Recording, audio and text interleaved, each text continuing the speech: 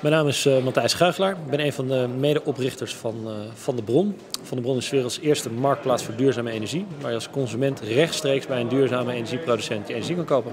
En uh, waarom zijn jullie dat gaan doen? Nou, we zijn het eigenlijk gaan doen omdat de markt op dit moment zo raar in elkaar zit dat het blijkbaar mogelijk is om kolencentrales te bouwen en vervolgens alle geproduceerde energie als, als groen te verkopen. Dus er is een enorm gebrek aan transparantie in de markt en dat wordt in stand gehouden door de traditionele energiebedrijven. Wij willen als, als nieuwkomer nou, die transparantie aanbrengen en ervoor zorgen dat beide partijen, dus zowel de consument, de verbruiker als de producent, de opwekker, beter uit zijn. En um, uh, hoe ziet het dan in de praktijk uit? Stel, ik, uh, ik ben consument en ik ga naar Van der Bron. En wat, en wat dan? Nou, van de Bron.nl zie je al onze producenten. Dan kan je de achtergrondverhalen lezen. Dan kan je zien wat voor productiemiddelen ze hebben. Dus uh, wind, zon, bio. Dan kies je een producent, dan meld je je aan en dan regelen wij de hele uh, overstap, alle administratie die erbij komt kijken. En uh, vanaf het switchmoment, zoals dat heet, wordt jouw energie geleverd door een duurzame producent naar keuze. Ja. En een marktplaats, de meeste marktplaatsen zijn een soort van, die kut, kutten uit de, de middelman, zeg ja, maar. exact. En nou, wie snijden jullie weg? de traditionele energiebedrijven, want traditionele energiebedrijven zitten er eigenlijk tussen. Dus in de handel van energie, daar maken zij marge op. Dus ze kopen zo laag mogelijk in bij de producent en verkopen zo hoog mogelijk aan de consument. Nou, wij gaan er niet tussen zitten, maar wij gaan eronder zitten. We hebben een platform gebouwd wat uh, dat faciliteert. Dus dat uh, producenten en consumenten gewoon met elkaar uh, zaken kunnen doen. Daar hanteren wij een vast bedrag per maand voor. En ja, het, maar voor ons maakt het dus niet uit hoeveel kilowattuurtjes er verkocht worden. Nee. Omdat ja, de consument en de producent dat met elkaar uitmaken. Hey, en um, als, als, nu zeg maar de, de, nou, de, de essentie zeg maar, van deze wereld er, ertussen zitten. Um, en jij bent producent en je profiteert normaal gesproken van de slagkracht van zo'n grote partij. Hoe moeilijk is het? Daar, daar, profiteer je juist niet van, dat is het hele probleem. Je, je hebt eigenlijk, je, je, uh, je wordt geschaad door het monopolie van die partijen. Zij hebben een soort van monopolie op uh, nou ja, goed, het afnemen van die energie. Inmiddels zijn er ook weer meerdere partijen bijgekomen, dus het monopolie is niet meer zo groot als dat het uh, ooit was. Maar nog steeds, al die partijen waar zij hun energie aan verkopen, verkopen het voor zo hoog mogelijke prijs door aan de consument. En willen het voor zo'n laag mogelijke prijs bij de producent inkopen. Ja. Dus uh, ja, die, vooral de essentie en nuance van deze wereld snijden we natuurlijk tussenuit. En uh, hoe is er op jullie initiatief uh, gereageerd? door de grote partijen. Nou ja, goed, het slimste wat je kan doen is natuurlijk stilhouden. Dus dat is ook wat ze doen. In ieder geval naar buiten toe. Intern weten wij dat nou, tot het allerhoogste niveau in de boardrooms er gesproken is over Van de Bron. En we hebben met uh, de raad van bestuur van één partij uh, gezellig bij ons op het, uh, op het dakterras koffie gedronken. En nou, daar waren we eigenlijk heel positief op. Ze, ze, zeiden letterlijk van ja, jullie zijn wat wij willen zijn. Alleen wij kunnen het niet omdat we zo groot zijn. Dus ja, aan de ene kant positief en aan de andere kant ja, weten we het niet. Hey, en uh, hoe, hoe, vertel eens één ding. Wat zijn de problemen geweest? Wat zijn de problemen bij het realiseren hiervan? Nou, voordat je energieleverancier mag worden, moet je een hele hoop regels voldoen. je moet kapitaal hebben, omdat het is een vrij kapitaalintensieve bezigheid om energieleverancier te zijn. Want dat zijn we wettelijk gezien, zijn we dat. We richten het alleen anders in en zorgen ervoor dat consumenten en producenten met elkaar zaken kunnen doen, doen. Dus ja, voordat je zeg maar echt leverancier bent ben je wel even, even onderweg. Dus uh, ja. Dus, dus uh, regels, en, uh, regels en wetten stonden jullie eigenlijk in de weg? Mm, niet per definitie factor? in de weg, maar het, is een, ja, ook niet een remmende factor, want het zorgt er ook wel voor dat die energiemarkt gewoon goed georganiseerd is. Wel vinden we dat een aantal regels en wetten gewoon achterhaald zijn. Ik bedoel, het voorbeeld wat ik net gaf. Hoe kan je in vredesnaam een kolencentrale bouwen en dat verkopen als groene energie? Dat is niet waar een consument voor kiest als hij zegt van ik wil groene stroom van een van de grote drie bijvoorbeeld. En uh, ja, die wetgeving voorziet er dus nog wel in dat dat, uh, dat, dat kan. Ja. Hey, um, je zegt een van de dingen is, uh, we, zijn, zeg maar, we zorgen voor transparantie in die, ja. in, in, in die markt. hoe doe je dat? Hebben jullie een soort, zijn, zijn jullie zelf onderzoekers zeg maar, van, want, want eigenlijk wat je doet is ook toetsen uh, of wat ze vertellen, wat partijen vertellen waar is? Mm, nee, want kijk, wij, de transparantie die wij aanbrengen is dat jij als consument, dus rechtstreeks bij die producent, dus wat je betaalt is ook voor die producent, je energie kan kopen. Dus jij weet waar jouw geld heen gaat. En dat is heel belangrijk, want bij grote energiebedrijven dacht je door groene energie te kiezen dat je daadwerkelijk ook groene energie kreeg. Nou, niks bleek minder waar. Dus eigenlijk had je geen invloed met jouw keuze. Nou, wij bieden die invloed wel, want door te kiezen voor echt groene stroom van boer uh, Gerard en Monique bijvoorbeeld, uh, draag jij daaraan bij dat er ook dus die energie voor jou uh, op het net komt. En als steeds meer mensen ervoor kiezen om daadwerkelijk duurzame energie te kopen, komt steeds meer duurzame energie op het net. Ja, en dan hebben we die grijze energie, ja, die hebben we dan straks nakijken. Ja. Hey, bij een platform speelt vaak het, het, het, het, het kip-en-ei probleem. Hè? Ja. Zeg maar je hebt, of klant, als je klanten hebt, heb je, heb je, heb je, heb je zeg maar de, de producenten. En als je producenten hebt, als je die niet hebt, dan komen er geen klanten. Hoe, hoe, doorbreken jullie dat? Nou, dat op dit moment hebben we zowel de kippen als de eieren, dus dat, dat scheelt. Nou ja, je moet beginnen ergens mee. Dus we hebben een aantal producenten gehad in de begindagen die daadwerkelijk geloofden in ons concept en gewoon zeiden, nou wij gaan onze stroom via jullie platform aanbieden. Nou, dan krijg je consumenten erbij. En vervolgens ontstaat er een soort van ja, buzz omheen. En dan krijg je steeds meer producenten zeggen: hé, hey, dat wil ik ook, want ik verdien er meer mee. En dat is gewoon een feit. We hebben nu een aantal producenten die zijn uitverkocht. En die verdienen wel 10.000 euro per jaar extra met hun productiemiddel. Dus gemiddeld 10 tot 20 procent meer inkomsten. Ja, dat is natuurlijk voor die producenten fantastisch.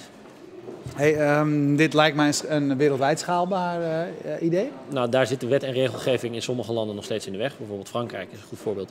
Daar is geen geliberaliseerde energiemarkt. Dat is gewoon staatsmonopolie. EDF heeft daar uh, nou ja, de rechten in handen om de energie te leveren. Maar in de landen met een geliberaliseerde energiemarkt is het absoluut mogelijk om dit model uh, in te voeren. Mits er dus duurzame opwek ook aanwezig is. En wij zullen dat ook zeker niet nalaten. Nee. Hey, hoe groot zijn jullie nu? Hoeveel, hoeveel mensen zitten er op jullie platform?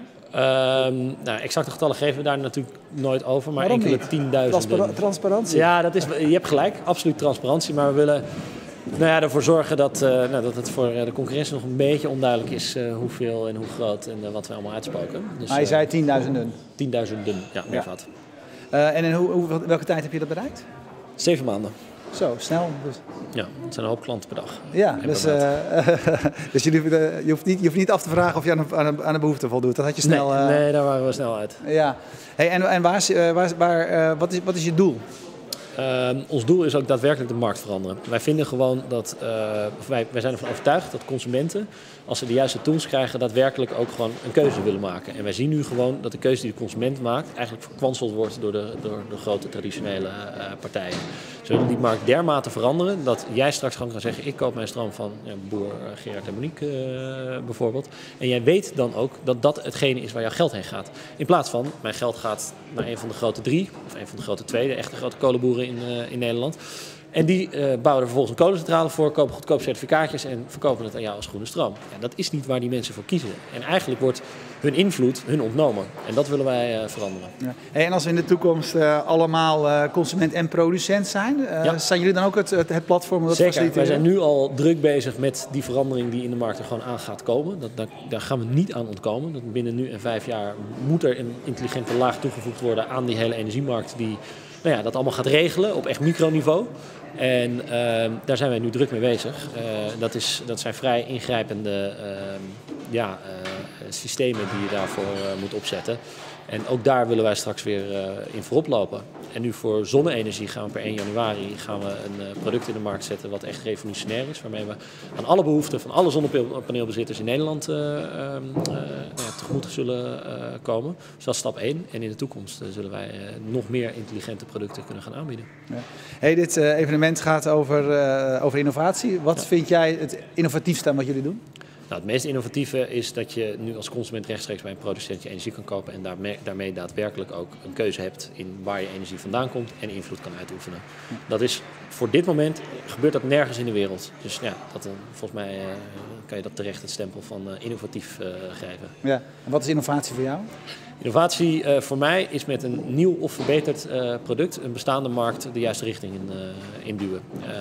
mijn persoonlijke missie is naast dat ik denk dat we de wereld wat beter achter moeten laten voor de mensen die na ons komen, vind ik ook dat um, onlogische modellen of onlogische systemen, schadelijke systemen in sommige gevallen, ja, die moeten veranderd worden. En dat gaat niet vanuit de partijen komen die die systemen zeg maar, in bezit hebben, of daar eigenlijk groot mee zijn geworden.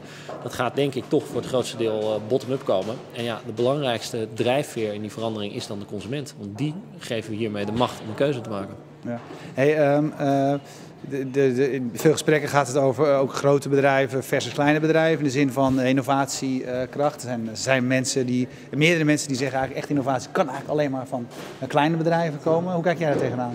Nou, daar ben ik niet per definitie mee eens. Ik denk dat het. Um, Dat gaat om de mensen die daadwerkelijk die invloed van die grote bedrijven, of die, die, die met die grote bedrijven de invloed kunnen uitoefenen. Er zijn uh, allerlei voorbeelden van grote bedrijven die heel innovatief kunnen zijn. Google, nou, Tesla is toch ook echt een serieus uh, bedrijf, ook super innovatief. En bedrijven die uh, hun hele businessmodel omgegooid hebben. Kijk naar IBM, was hardwareleverancier, is nu softwareleverancier. En dat was niet het minste bedrijf. Dus het kan wel. Maar ik denk dat het uiteindelijk komt het neer op de mensen die de visie en de, de wil hebben om, om die verandering teweeg te brengen. Hoe groot zijn jullie als bedrijf met personeel? Uh, we zitten nu met bijna ja, we zitten met 30 man ongeveer. Dus uh, dat is ook flink gegroeid. Ja. En, en, wat doen jullie eraan om zeg maar, dat, dat innovatieve karakter in de genen van het bedrijf te krijgen? wij zorgen ervoor dat iedereen bij ons in het bedrijf om te beginnen plezier heeft. En plezier zorgt ervoor dat je wat losser bent en dat je dus ook makkelijker ideeën ja, inbrengt. En wij keuren eigenlijk geen ideeën af. Elk idee wat bij ons in het bedrijf geopperd wordt, daar kijken we serieus naar. Daar hebben we het over. Dat wordt ook gechallenged. Ik bedoel, als een idee, als je dat niet kan verdedigen, ja, dan, dan is het nou, toch misschien geen goed idee.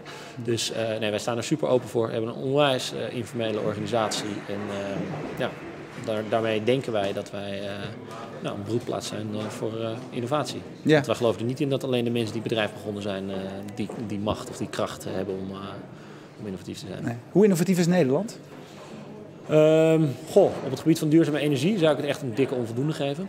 Uh, ik vind het echt kwalijk dat, uh, dat het Nederlandse overheid, uh, overheidsbeleid zo zwalkend is. Als ik naar Duitsland kijk met de energiewende, dan is dat echt een.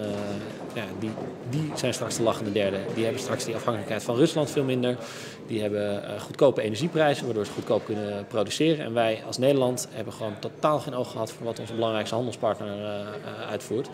En ja, en dat zie je nu. Weet je wel, we zitten te bakkeleien over hoeveel duurzame energie er in Nederland moet zijn in 2020. Weet wel, nou, dat was ooit 20 dat is inmiddels 14 procent, staat weer ter discussie. Ik vind echt de slag, slagkracht van de politici op dat vlak echt verschrikkelijk. Dus, dus uh, de, daar, daar, daar niet innovatief, maar ik bedoel, als Nederland hebben we natuurlijk een enorm innovatieve historie. Kijk naar de waterwerken, weet je daar waren we fantastisch in. We hebben een supergoeie kenniseconomie. Alleen, ja, ik denk dat we deze uh, transitie, deze uh, opportunity nu wel erg laten liggen. Ja, en hoe zouden we ervoor kunnen zorgen dat we dat niet doen? Dat we hem wel pakken?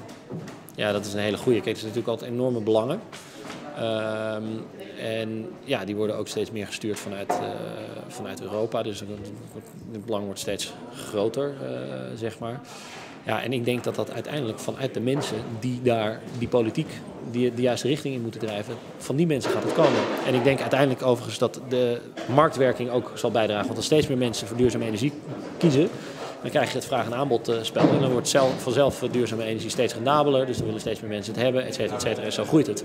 Alleen, ja, de overheid heeft het nagelaten om een, een goede kickstart uh, daarin te geven. Hey, succes vandaag bij de prijsuitreiking. Ja, dankjewel. Dankjewel.